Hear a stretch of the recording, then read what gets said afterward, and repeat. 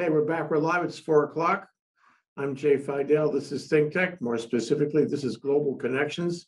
We're going global today with Jay Friedheim. We're going to talk about the fallout of the grounding in Suez of a ship called the Ever Given.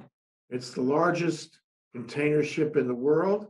It's a quarter mile long. And for what, about 10 days, it was stuck in the Suez Canal and there is fallout. So the first thing, Jay, you know about admiralty and maritime law? What yeah, I went, to, I went to school at Tulane. It's the world's leading admiralty and maritime law school. So the kids that I went to school with and the ones that came after me wrote the contract for passage through the canal, wrote the contracts about shipping. Here's what we know there's a ship called the Ever Given, but that isn't just enough. You need to understand that the vessel is actually owned by a company called Shoei Kisen Kaisha, which is really a Japanese holding company. And it's leased, so the ship owner leases it to the Evergreen Maritime Corporation. The, the, uh, the actual Taiwanese, which is a Taiwanese based conglomerate, the crew was hired by Bernhard Schutte Ship Management, which is a German company. So the people that work there, if this was an American ship and it was a Jones Act question, then they would only be allowed, or they would they would be allowed to sue their ship, their, their the person that hired them, which is a German company. Now, here's what's really exciting at the moment, and that's that Egypt filed a lawsuit in this little bitty town along the Suez Canal. After that, the company filed a lawsuit called the Limitation of Liability, and they did it in a British uh, court. So the way the limitation of liability works is the place that was filed first gets to control the case. And then there's something that's called a concursus, which means everybody has to come to that little court to decide the matters. So the biggest initial dispute is is Egypt going to honor the British's claim that even though their suit was filed later um, and have the Egyptian rights decided in in uh, Britain. And uh, I would just say the likelihood that the Egyptian nation has any concern for the interests of Britain, which seized control. The history of this is fascinating. Um, there was an invasion by Britain, France, and Israel in which they tried to come and take back the canal after Nasser nationalized it for very good reasons. There's fascinating history related to the well, canal. Let me back up a little bit and just confirm that the ship, it takes about a day, or rather 12 to 14 hours for a ship to navigate the canal. The ship got stuck. I want to ask you what happened there. And as a result, some 360 ships uh, were, were stuck behind that ship. They couldn't go through the canal. And that's, that time is huge money. The claim that the uh, Egyptian government is asserting is $900 million. They have not said exactly what that's about. Oh, We I, should talk, we should talk about that. Um, that right. And we should talk about how this is all going to shake out and how it affects global maritime traffic, okay? So the first question is, what happened? Okay, well, what happened is the ship, the largest ship that can possibly go through the canal, it is exactly the number of feet of the maximum ship allowed. But it happens to be so wide that where it got stuck, it barely fits through the middle. All right. Now, the sides of the canal at this point are sheer sand walls. And so as it bumps into it, the sand falls down and it traps the ship. There's other things that were going on at the moment that it got stuck. There was a sandstorm and it was big winds. And so the sandstorm is blowing hard wind, and this ship, which has thousands, 20,000 containers on it, stacked 13 high above the deck, completely full below. The, the, the, all these um, containers act like a sail. So the ship is going through there, the sand and storm is blowing, and the vessel turns. It doesn't have to turn much, and it's stuck. And that's a problem because to unstick it is really difficult. And we're talking about the absolutely most remote place, like Hawaii is the most remote island group in the world. Well, the most remote place you could get to by water in the middle of a desert is this spot in the uh, Suez Canal, you know, which connects the Red Sea to the Mediterranean and the whole history of why that's important. This is the same sea that God split so the Yids could walk through with Moses. I mean, there's a whole lot of history tied up to this spot. Okay, and, and so how did they get it out? I remember reading there were three things they tried. One Okay, is they try to take the sand, the sand out uh, from under the ship. Another is they try to use tugs to pull the ship off the sandbar. Uh, and the third one, uh, the third one, um, gee, I can't remember what the third one was. That They, was, they, they, which they ultimately did, which is that they raised the water under the ship. Uh, but Okay. what's important is that um, there is a salvor that came into play, and um, you. So they tried to use um, material to remove sand from the sides of the boat, but you couldn't remove sand from under the boat. They tried things like getting rid of the ballast. Ballast is weight that you put on a ship to cause it to go down in the water. So they were pumping out the ballast to try to float the ship. Um, and then they, what ultimately got them out of it is the water power of the canal was used to push the vessel while the salvors were pulling the vessel. Now the company, the salver is a tugboat? The salver is a company that its his job is to get it out of there. Now it could be, you know, we've gone over sal- the laws of salvage are ancient maritime laws, they're traditional remedies, they're all around the world, and the company has a right to hire a salvor. And they hired Smith, which are the big boys. These are the guys that removed the Costa Cordia disaster in 2012, the Bal- and then the Baltic Ace car carrier that sunk in 2015 right at the entrance of the port of Rotterdam. So these guys come in when the troubles are really big. And, uh, you know, so the, here's what actually happened at the very end. They needed two much bigger tugboats. And there were no tugboats this size um, at the time, but they, because it's the middle of nowhere. And so they were rushing these giant tugs to get in there because all the little tugs weren't enough to move this thing sufficiently. So um, they, they just weren't around. The physics of what happened is it's a 430 yard long vessel. They had eight tugboats pushing and pulling, and uh, there were ships everywhere. There were ships in front, there were ships on both sides. The way it works is that ships can go in both directions through the canal at the same time, but there are these wide spots in the canal in which you move ships over to one side or the other, you let ships pass. All right, and so they were dig, they were dredging sand, but it only had a very minor impact.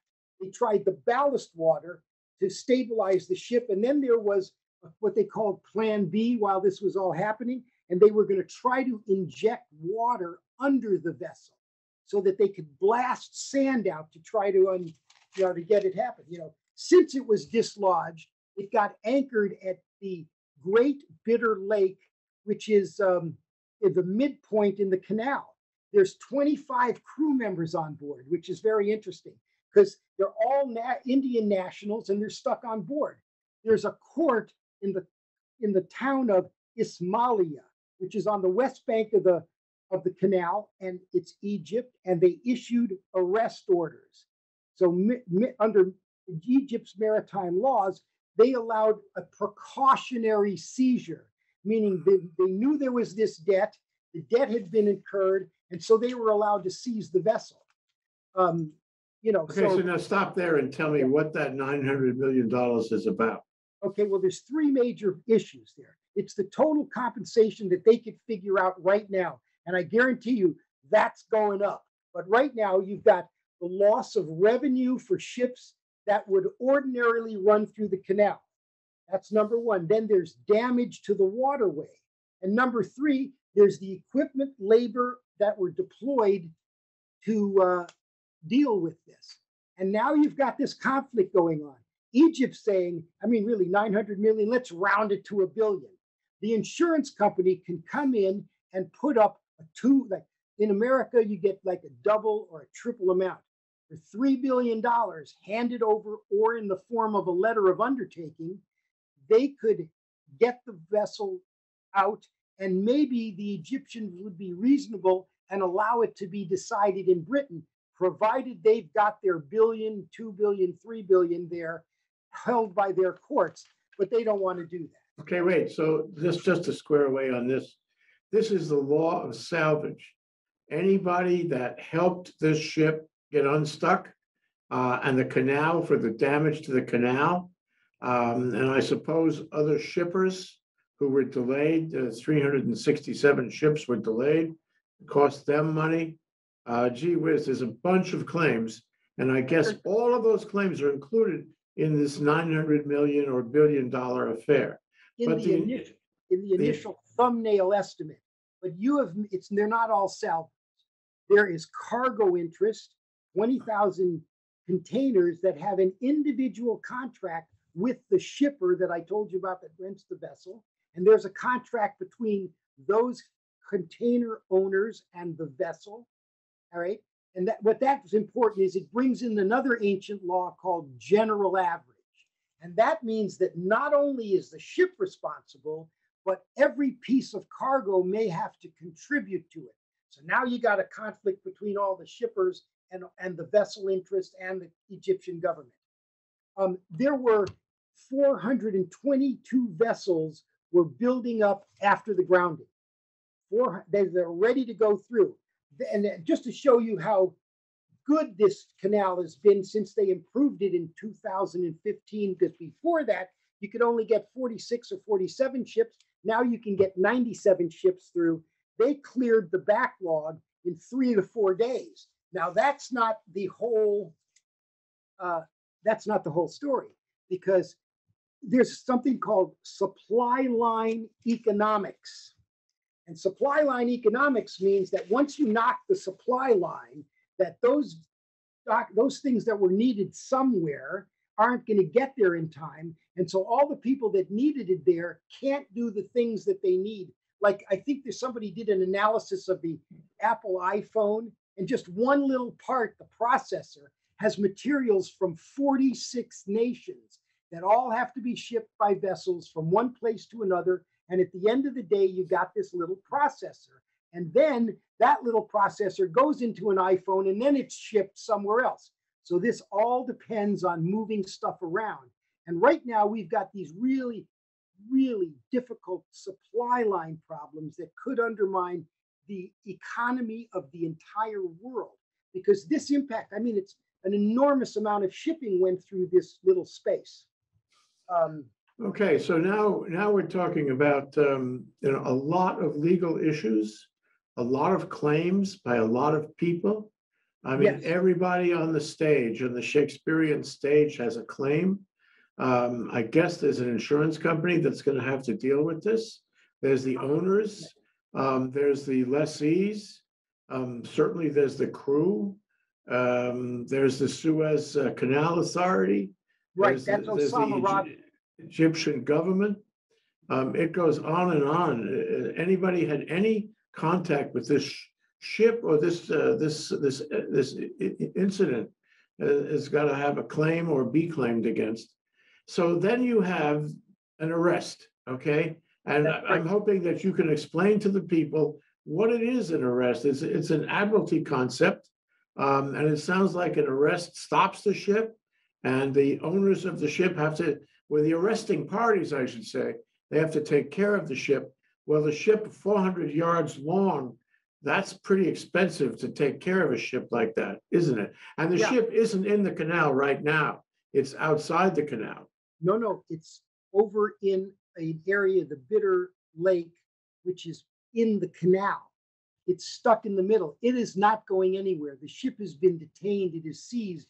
And Osama Rabi is a really good spokesman for the uh, SCA, which is the Suez Canal Authority.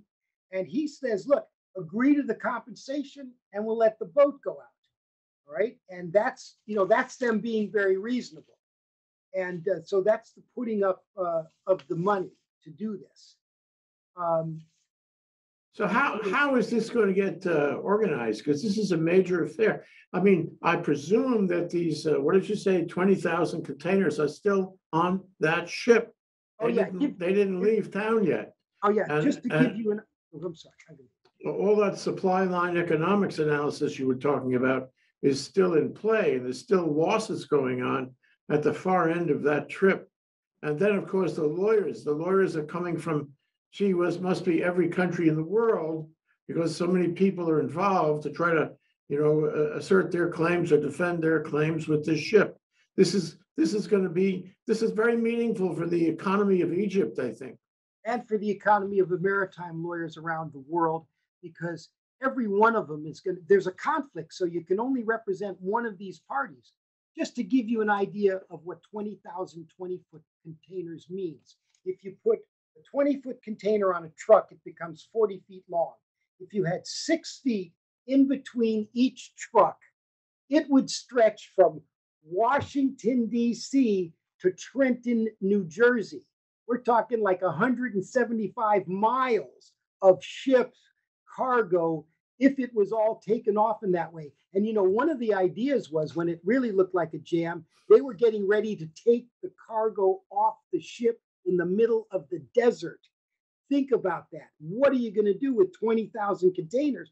And you need helicopters out there to move them one at a time and gigantic crane ships. This thing could have been there, you know, for a year without any problem, and it would stop this waterway from functioning. This is a huge problem. And this isn't the only place that you have those kinds of passageways.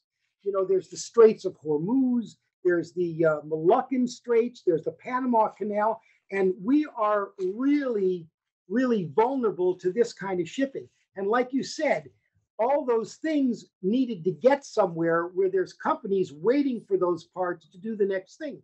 Right now, we're panicking about we don't have enough computer trip chips to build cars. So those computer ch- chips, which are not, you know, being made by people that are real happy with us because of the way we've acted in the last five years, and so we're not, we're not, so we're no longer the high prestige nation.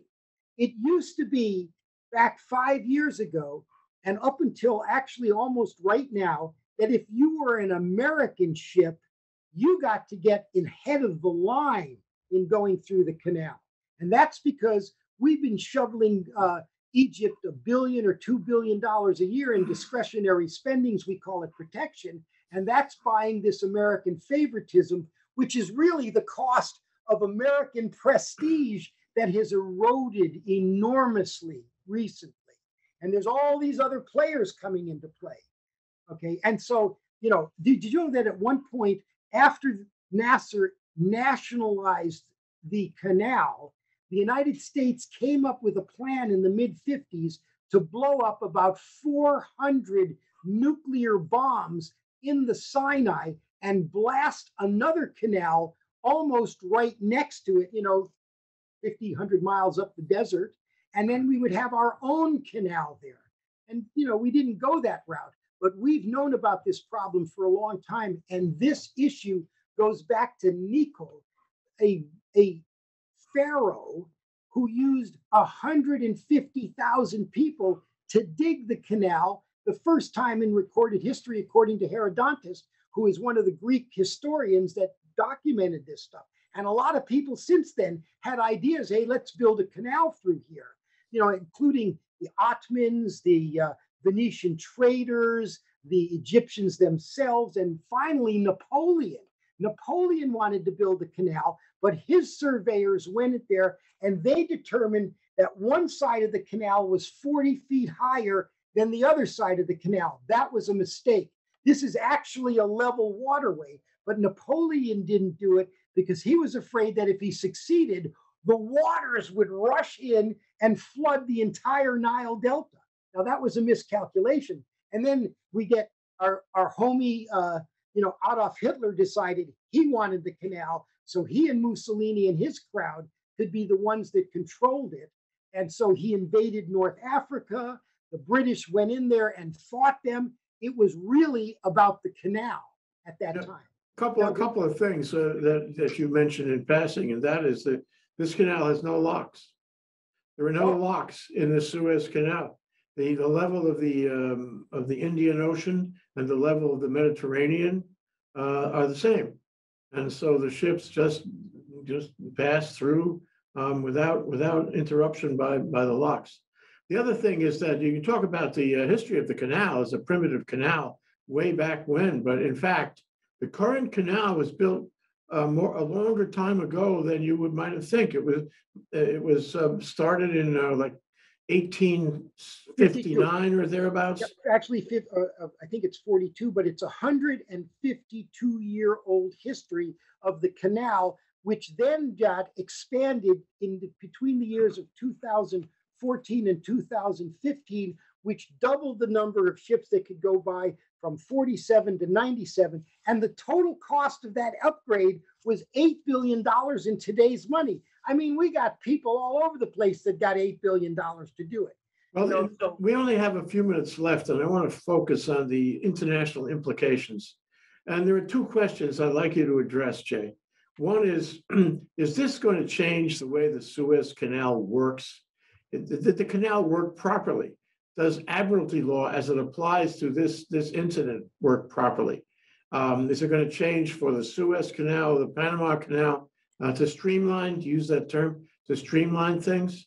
Because after all, we find now that we're dependent on these canals for global trade. They're really important. Uh, are they functioning properly? Actually, yes, and the law is working beautifully. And there will probably be minor tweaks to already existing contracts. But the contract that each vessel signs, that's going to cost them about $700,000 to go through there, has been really ironed out. And there may be glitches that we learn about to modify and improve it. The maritime law works wonderfully with great precision. And we're going to run around and we're going to bang swords on shields and at the end of the day, we're going to sit down with a bunch of mediators and we're going to try to figure out how to skin this cat. The canal works great. It is a wonderful source of pride for the Egyptian people dignity, pride, sovereignty, which really matters. And it's a source of, of foreign currency and revenues for Egypt. And it's a really a big deal. And how did it get solved? I mean, it's the intervention of the Almighty this king tide, which only comes about once a year in this time because of the position of the moon, raised the canal water. I mean, it's like the parting of the sea. It floated the boat, and that's what got it moved and, and unclogged this. Oh, I knew there was something biblical ab- about this. Yeah, yeah, I'm incident. always trying to rattle that. There book. you go again. Yeah. Okay, another, another question, last question, really. uh, uh, The impact of this kind of incident on global trade. You mentioned, you know, the economic supply line analysis and all that. Um, But just suppose we lost one or both of these major canals. And uh, these uh, cargo ships uh, would have to navigate um, to the south of uh, Africa or, and or to the south of Cape of South Good America. Hope. Yeah, it's the Cape of Yeah. Good Hope. And Yeah. that's why the canal got built, because the British seized the area of South Africa, created a garrison there, and every ship that went by, whether it was a whaler, whether it was a foreign nation going to attack somebody, or whether it was trade, were vulnerable to the British there. So the French got together with the Egyptians and said, hey, let's build you a canal. And the French paid for it. And the Statue of Liberty that we like to make believe was built for America, it was built to be at the Mediterranean side of the canal, and they decided not to. And the Statue of Liberty was to show that the light of France and the Western world was bringing trade to Asia. And that's where the Statue of Liberty comes from. It was an afterthought because they had this old piece of crap and he couldn't figure out what to do. And we decided that's what America is. So bring us your poor, bring us your everything. And I don't downplay the reality of that sentiment. But the idea to say that she was built for us, uh-uh, she was built to sit in front of the canal as a guiding light to show the Chinese, the Indians, all of what, you know, Eastern Asia, that we were bringing enlightenment to their shores in the form of trade. Yep, yep. Okay, so, uh, so this is very important. Both canals are really, really important. And, um, you know, if you don't have those canals, you have to, you have to go thousands of miles out of your way and, and uh, spend a lot of money, time, uh, staffing, bunker fuel, what have you, to, to get there. It It's about- changes the, trade paradigm in the whole world if that happens. So my, my question to you is, these must be strategically important. They have been strategically important in the past. So if I were a terrorist, for example, uh, I might try to leverage the importance of these canals. Uh, because if I could stop trade through there or threaten to stop trade through there, uh, I'd be, I'd be making a big statement. Um, and do you think that is possible? Has it happened? Oh, yeah, and here's what that's at stake. It- Here's what is at stake. Twelve percent of the total global trade passes through the Suez Canal. Thirty percent of all the shipping containers in volume pass through there on a daily basis. And according to Bloomberg, ten percent of the world's oil trade and eight percent of the national gas trade is passing there. It connects the Red Sea to the Mediterranean. It's the ultimate shortcut from Europe to East Asia, from Rotterdam to China. And uh, the other way around is the uh, Cape of Good Hope, and that costs at least 12 or 14 more days, depending on your engines. And it exposes you to the pirates of Somalia and all kinds of other people who can grab yourself. So it's exposure to security risk and pirates. Yeah, you get it? It's a big deal. And the Egyptians want it. They're not giving it back. You know, and to build it, these guys built it with shovels. There was as uh, there was a hundred thousand people virtually enslaved to dig it. They were paid nominal money, and each, you know, you get it blood, sweat, and tears. You know where that comes from? It comes from uh, Winston Churchill, who had during the war. But this is one of those blood, sweat, and tears. And that's why the Egyptians were indignant about it. And supposedly the Egyptians auctioned it off back to the uh, British and to uh, the French. And when there was a problem, you know, they seized it as a military control because back in 1940, we understood how strategically important it was. Well, this certainly focuses world attention on it, uh, and, and on Egypt for that matter, and on all the mechanics you have described and the legal issues you have described. I can see all these uh, young young law students changing their their focus to admiralty now. Well, it's Um, hard to get paid. That's why Admiral, and I help people. My job is I like to help people that load and unload ships. I learned this stuff because I was blessed to get to go to this college, law school, Tulane, which I said is a phenomenally, you know, important maritime law school. It's the leading one in the world. And we learned this as our bread and butter, but I don't actually get to do it so much. There was once I had to do a general average case in which there was a ship coming into the Honolulu harbor. The Coast Guard, which you know about, said, nope, you can't come in here because it's leaking ammonia into the hold. And so all of the the cargo in the hold, like very expensive chocolate, got poisoned with pneumonia, which is not poisonous. It just couldn't taste good. And so all the cargo interests had to contribute because the, the one thing leaked, and that was a very complicated case. And Well, you're talking about very complicated issues and involving physics, involving chemistry, uh, involving you know the fundamental industrial processes by which the world trades. And people, you know, they go to the store, they buy what they need, they don't realize that it's a combination of, of components from everywhere, many of which have gone through one or the other of these canals.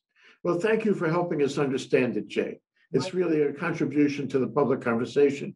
We should all know and understand what's going on. Really appreciate your expertise and time. Thanks so much. honored to have the opportunity. Thank you, my friend. Aloha.